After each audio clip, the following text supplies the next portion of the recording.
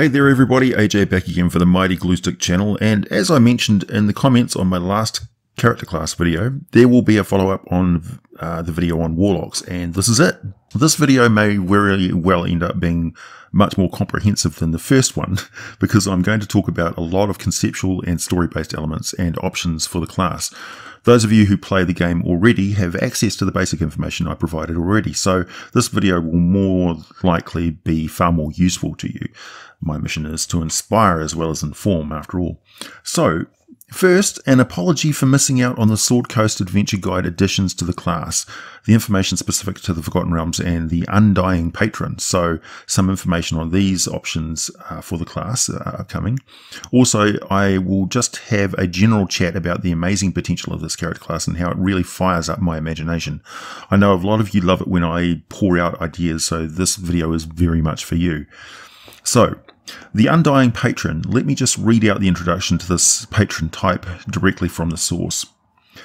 Death holds no sway over your patron, who has unlocked the secrets of everlasting life, although such a prize, like all power, comes at a price.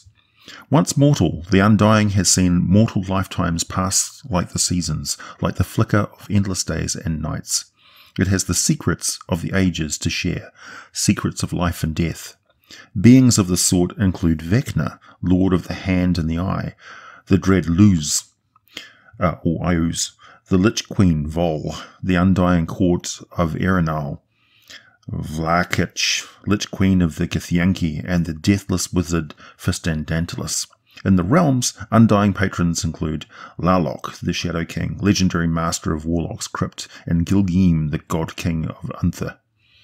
The following spells are in addition to the standard Warlock spell list for those with an Undying Patron. You get False Life and Ray of Sickness at first level, Blindness, Deafness, and Silence for second level, Feign Death and Speak with Dead at third level, Aura of Life and Death Ward at fourth level, and Contagion and Legend Lore at fifth level. Starting at first level, the Warlock learns the Spare the Dying cantrip. They also have advantage on saving throws against any disease. Additionally, Undead have difficulty harming these Warlocks. If an undead targets them directly with an attack or a harmful spell, that creature must make a wisdom saving throw against the warlock's spell save DC.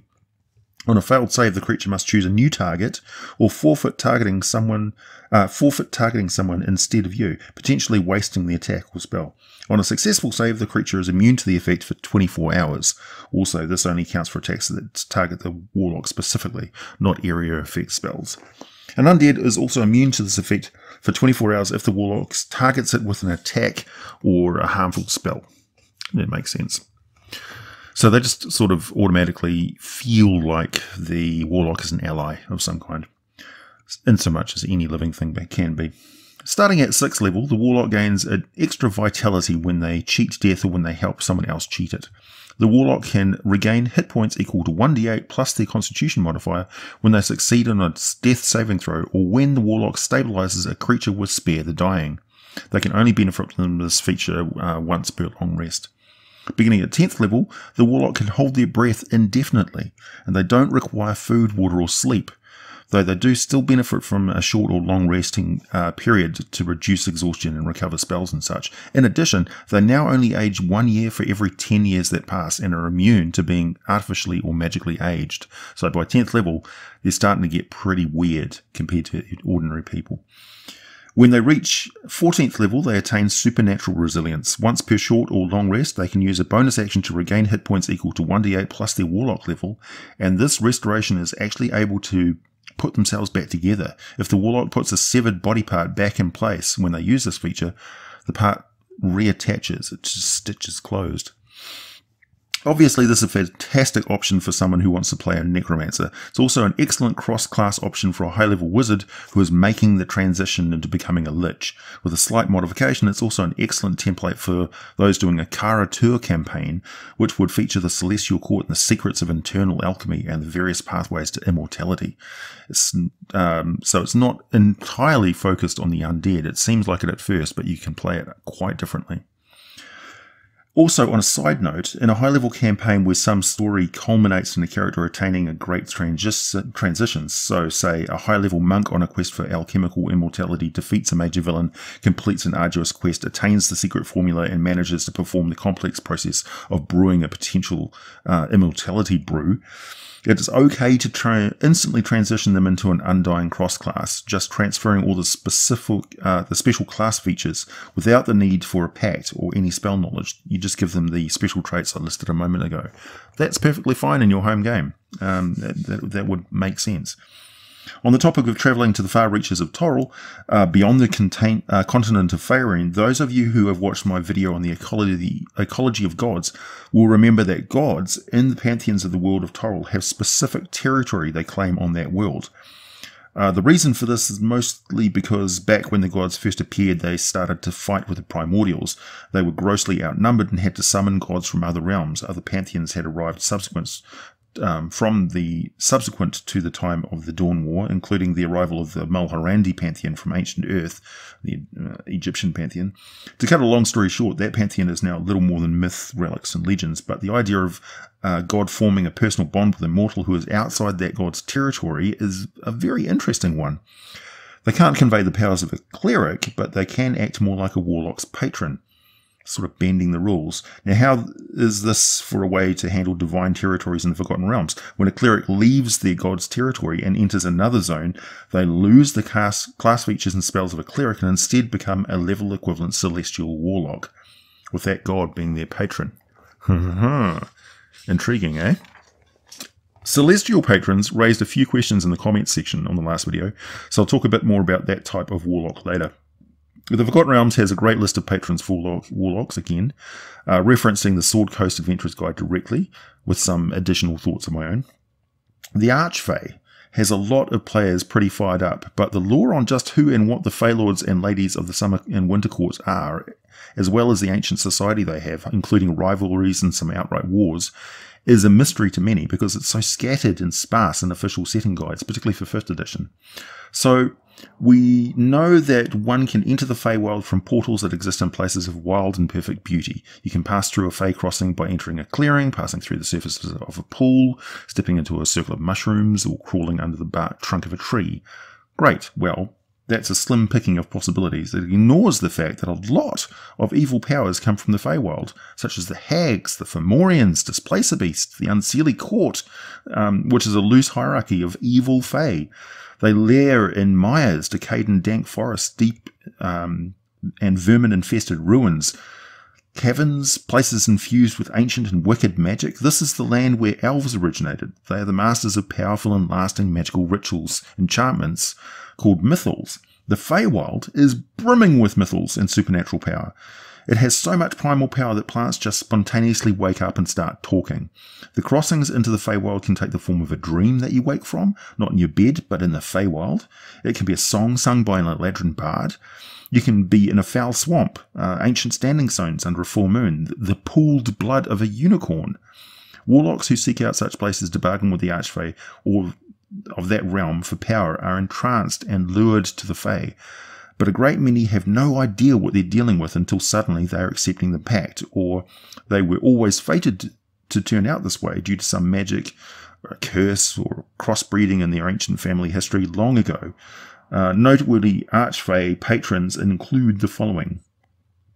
Titania, the Summer Queen, is perhaps the mightiest of the Archfey. With a smile, she can ripen a crop and with a frown summon wildfires. She rules the Seelie of the Summer Courts. The Seelie are the good Fey. Oberon, the Green Lord, an unrivaled hunter and woodland warrior, is Titania's lover and frequently her foe.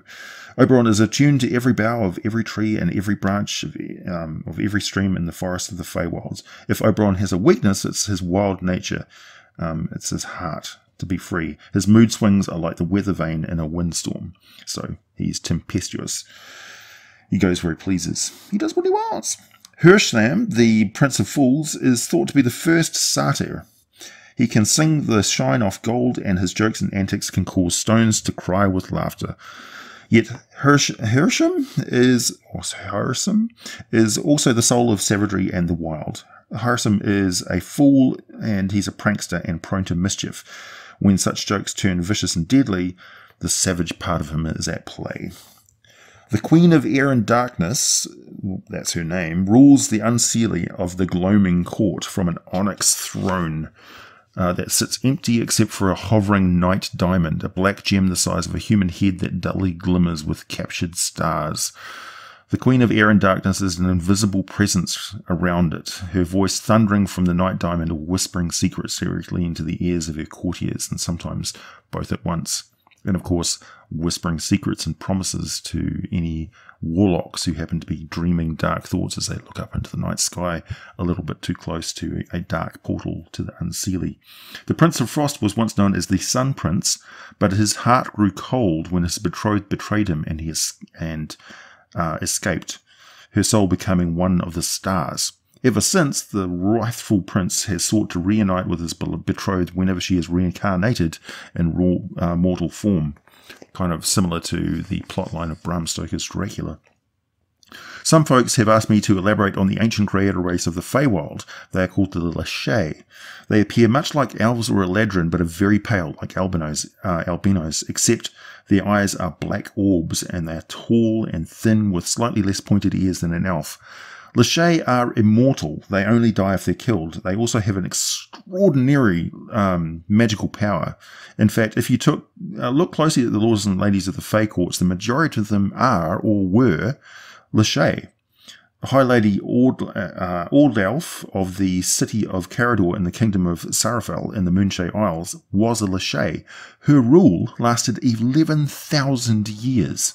So obviously this race has had and continues to have a huge influence on both the Feywild and the mortal worlds. A typical LeShay is a stickler for proper behaviour, respect, and etiquette. They are gifted in language and learn a new one within minutes of having heard it. They can also pick up sign language with equal ease. LeShay uh, can charm other beings simply by looking at them, and mastered a strange ability to form weapons out of nothing but the power of thought alone. These LeShay weapons were formed from the essence of each individual LeShay as if they were extensions of their own body. Kind of like lightsabers.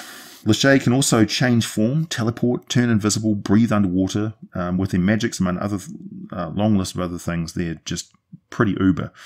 LeShay have forgotten more spells and rituals than your average human archmage will ever learn, and it was they who created the many powerful mythic portals and crossings into the mortal world from the Feywild, modifying and creating new Fey-blooded creatures to inhabit the mortal world and LeShay are certainly powerful enough to serve as mysterious elusives and extremely knowledgeable patrons to Fey warlocks.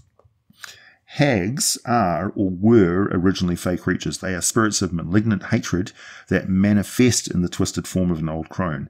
They do have the power to be a patron to a Fey warlock, but they are really, really bad masters, and I do not recommend them as patrons at all. Lost gods Vestiges and the lingering avatars or aspects of gods and primordials long since dead and gone are also excellent patrons for warlocks. Obviously, these echoes of great power have a very strong desire to be restored to their former glory, and they will use whatever power they have left in order to uplift and empower the agents who will stand um, any chance of making it happen. So, the goals of a warlock dedicated to this vestige can be modelled from the celestial patron, uh, the hexblade, or the great old one um, models. The patron can inform the warlock from time to time that there are spe- uh, many special components, parts, and versions of rituals loaded, uh, located here and there, letting the warlock follow their fate, but compelling them to find some lost trinket whenever they have a chance they're pretty desperate and also a little bit lonely, I would imagine, um, just savouring the attention of the Warlock. Warlocks dedicated to the Celestial Court of Kara-Tur work particularly well either cross-classed as a monk or a ranger or teamed up with one of them in a party. Speaking of Celestials, the very method of offering an alliance and sharing power may stem right back to how the first Celestials fell from grace and accepted uh, and the acceptance of Mount Celestia. In the epic and total warfare against Miska the Wolf Spider and the Queen of Chaos, pacts and bonds were formed just to keep the angelic host fighting fit and on a par with the worst the demon lords had to offer. The angels were corrupted, thanks to, a, in small part, to the natural mayhem of the elemental chaos, and they adopted a mentality that all demons must be destroyed by any means necessary, even if that means becoming evil in order to do so, as long as law is supreme. Who cares what or who is destroyed in the conflict? What they were doing was saving all of creation. They realized that the power of mortal souls to alter reality, reality by force of will and belief was the stronger, strongest weapon they had to restore order and structure in the wake of demonic destruction. And they devised a method, well, the perfect method for acquiring a stream, a steady stream of mortal souls. And well, I have a video talking about the origin of the Nine Hells, no need to rehash it here. Those warrior angels became the first devils. That reminds me, there are a bunch of fallen angels in the Out of the Abyss Adventure supplement. They're on page 185. They make for excellent celestial patrons as they have been trapped in eternal petrification deep in the Underdark for thousands and thousands of years, driving them quite insane. They are Anaya, Bartrel, Harrigan, Lorabelius, Nemevon, Silnia, Timael, and Zarod. And they've all got their particular um, type of madness. Which brings us to our next batch of Forgotten Realms patrons, the Fiends. Numerous fiends forge pacts with mortal warlocks in the realms, so many that warlocks are almost synonymous with infernal power in Faerun. These fiends include the archdevils of the Nine Hells and their most powerful dukes, the demon lords of the abyss, and the ultraloths who rule over Yugoloth armies. Such deals need not be struck directly with the power in question. However, often a weaker fiend serves as an intermediary, and the warlock need not know exactly whom he or she serves.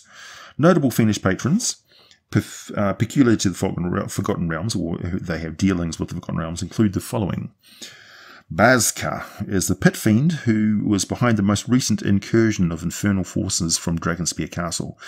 Its plans for the Sword Coast were thwarted along with those of allied red wizards, but its ambitions in the region remain. And of course, you've got a cabal of red wizards who uh, pay homage to that particular pit fiend. Belaphoss is a demon that serves Demogorgon. It considers itself the greatest servitor of the Prince of Demons and thus is a rival for Demogorgon's power. That's not going to work out well. Eltab was once bound beneath the city of Eltabbar in Thay caged even by the layout of the city's streets and canals. They built this whole place to form a glyph of an imprisonment. The demon is now loose in the world and seeking revenge. Errtu, the Balor, was uh, plagued Drizzt Do'Urden for more than a century, largely over possession of an artifact called the Crenshinibon. Um, having lost the last battle and been banished from the world, he, the Balor now seeks indirect means of revenge against Drizzt. Again, I don't fancy his chances. Fraz-Urb'luu is the former devil who became a proxy demon lord when he was banished from the Nine Hells. He is a rival of Demogorgon, Orcus, and Graz'zt, and widely hated by all other demons and devils. He contended with Demogorgon over the rulership of the Empire of Narfell uh, around the time of the fall of Damara. Gargauth is a mysterious infernal power who seeks godhood while trapped in the world within a magical shield. Lorian is a Cambion who collects warlocks like one might collect butterflies. His favourite collection, the Troll 13, includes warlocks of blood descended from the 13 who first made a pact with Asmodeus. Um, yeah. Was that Troll or Troil? Troil 13? Somebody let me know in the comments down below. Malkizid is a Solar a solar, an angel, who fell from grace when he was betrayed by Saladrin. Um, or Saldarine, sorry. Ever since then, Malkizid has delighted in every wrong he can do to elves, but he grants uh, gains the greatest pleasure when he manipulates the elves into harming each other. So where elves are in conflict with each other, look for the influence of a particularly demented solar.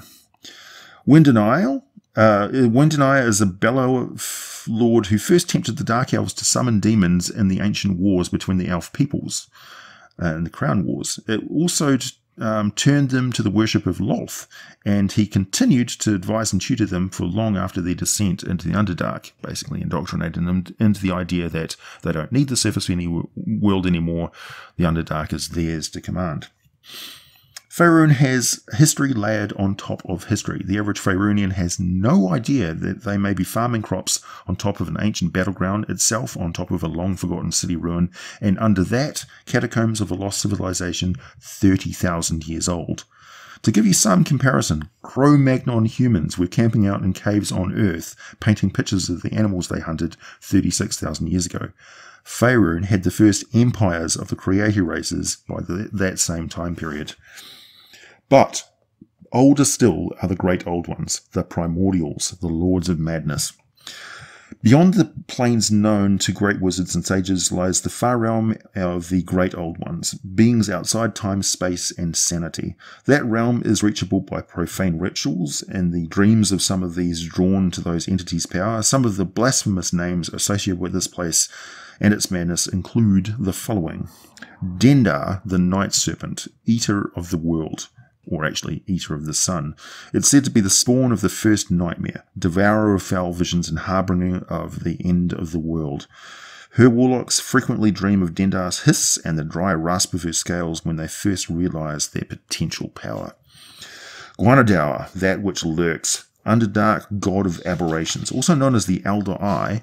It is worshipped, if such a word can be used, by slimes, oozes, and similar creatures. Kezef the Chaos Hound is a black skeletal mastiff covered in swarming maggots. Its blood is a black acid. The gods imprisoned Kezef in an unbreakable leash forged by Gond and a glowing ward conjured by Mystra, for which the Chaos Hound bit off Tyr's hand, in a clear rip-off of Nordic folktale. Uh, Moander is a dark power of corruption and decay. Those touched by its influence first receive a dream, the seed of Moander, which uh, wherein the following words are heard. Question not the words Moander, lest you be stricken by the eating from within. Go forth and possess beings of power and influence for me. Slay and let the rot cover all. Fear me and obey. And they do. Uh, also called the possessing spirit, or and the flaming one, or flamed one, seeks to rule the world through the bodies of others. Similar to the Earth Mother, it uses magical pools as windows in which uh, into which the world um, has been inf- infected by its influence.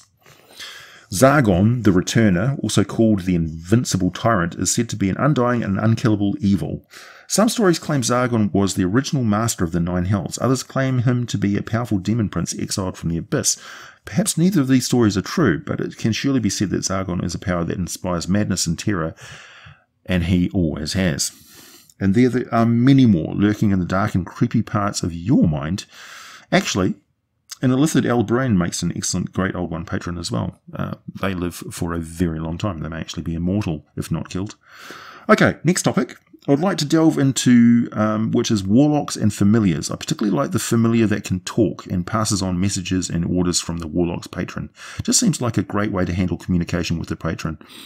Um, though the warlock could resist a mental conversation with the patron. Um, if any of you grognards remember Mork calling Orson, come in Orson, or the High Commander from Third Rock of the Sun with the big giant head using the transmitter in Harry's head to make loud announcements, it's absolutely hilarious to have a player character, warlock, that largely ignores their patron until suddenly the patron demands something. They freak out and scramble to get it done before the patron busts them for being total slackers.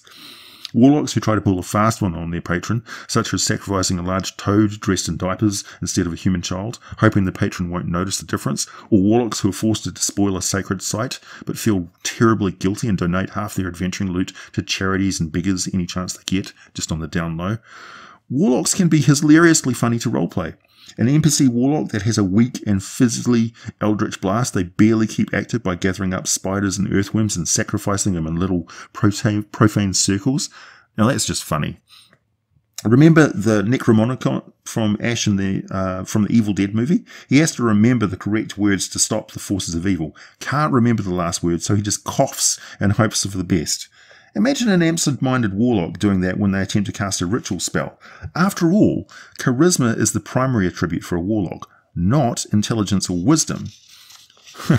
it's perfectly viable to play a warlock who is a complete idiot. Can't do that with a wizard. Back to familiars. Perhaps the Mephit, Imp, Quasit, or Sprite is the smart one out of the pair. What if you ro- role played the role of the Imp and the Warlock was the one that was like your familiar?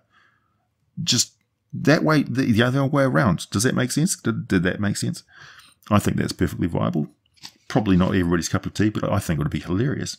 Familiars have special communication with their master. They can also share some of their special abilities with them, such as the spell resistant of the Quasit. However, does the Warlock share something with the Familiar? I imagine the primary benefit for familiar, familiar is increased hit points and the protection of their master. I would like to know what kind of familiar is specific, specific to celestial warlocks. Is is it some sort of little cherub? Um, is it some sort of celestial sprite or a celestial creature such as a dove or something more exotic, like a dove that has no head or tail, it's just wings and a puffy little feather body? Um, as mentioned, as a uh, reply to a comment, I came up with unique familiars when I can't find anything else suitable. For great old ones, my suggestion was this, and I quote Take the stats of the Myconid Sprout, remove Sun Sickness, rename the form of its attack, but keep the numbers the same, and you can have one of the following roll 1d6. On a 1, you get a Tentacular Spectacular, a sentient tentacle creature that can merge with your character's body and has a limited ability to grow an eye or mouth anywhere on itself that you can speak through or see through with concentration. Number two, an ancient amorph, slightly more hardy than an ooze, but with many of the same traits. The amorph can form into simple, fleshy shapes and squeeze into most places. Quite gross. Uh, number three is an organism, a spirit entity that can only possess and animate the internal organs of a recently deceased animal. So you could have basically the innards of a creature slopping around, dragging uh, the corpse of it behind it. Really gross. Number four, the brain slug, a torpid purple leech-like parasite that once implanted can take over a small creature completely, turning the creature effectively into your new familiar, at least until the brain is eat, eaten out by this thing. So kind of like a lesser version of an illithid worm parasite larval thing. Number five, the stomach baby. This is, I particularly like this one. A homunculus-like creature that is created inside the warlock's stomach after they eat a bunch of living things. They are recombined and then vomited out, shuffling about as a tiny familiar for a while until they break down. Number six, Other Me. The familiar is an independent reflection of the character able to move from one mirror or reflective surface to another, observing and telepathically communicating with its master.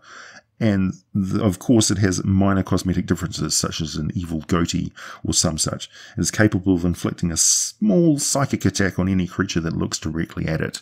So essentially, you turn your reflection into in a mirror into a a, a familiar, and it moves around independently which would be hilarious if it goes off on a mission and suddenly you don't cast reflections. People might think you're a vampire. Warlocks are quite often seekers of truth. They are obsessed with uncovering knowledge, finding answers, rediscovering history, and reducing the, their ignorance of the true nature of reality, as freaky as that truth may be. This quest for knowledge is an addiction that continues long after they find and bind with a patron and gain power that way. In fact, the patron may easily motivate the warlock just by hints and leads to new secrets ready to be learned. Just the suggestion that the, the patron has secrets that the warlock can uncover is pretty much all the motivation that a character needs to do uh, anything. If your warlock does end up with some otherworldly mutation, an obvious sign that they are not quite normal anymore, it's up to the player how they handle it in character. It's also up to the DM to portray how people of the D&D world react to this devil sign. Some things can be explained away pretty easily, such as outlandish hair color or weird skin condition, but having tentacles for fingers is not so easy to explain away. Get used to wearing gloves. Some have asked, what is the fate of a warlock? Is the soul of a warlock doomed? Well, no, not unless that's part of what their um, pact is with their patron. Their soul will pass through the ethereal void, traversing the fugue plane, receiving judgment by Kelemvor, then pass on through the astral sea, arriving in the correct plane as a native outsider. Um, a newly arrived resident who calls that particular cosmic plane their afterlife, their, their home. What the warlock's alignment is, is more important than who their patron is, unless they sold their soul to a demon prince, of course. Um, presumption of what the presumption of the common folk, though, is that all warlocks have sold their souls to an evil being, and it's something that these warlocks have to contend with all the time. It's unavoidable. So a lot of warlocks prefer to stay pretty low key, appearing as little more than a travelling hedge wizard or an acolyte, uh, with more mundane animal familiars that they can do a fair approximation of being, say, a ranger. There is a huge potential for great characters with this uh, class. You can cr- recreate the Alienist Prestige class, specializing in summoning creatures from other planes of existence. You could be a warlock who collects a menagerie of creatures that they um, are actually very useful. And finally, who wins a fight between a high level warlock and Demogorgon? Demogorgon does, of course. Thanks for listening, everybody. I'll be back again soon.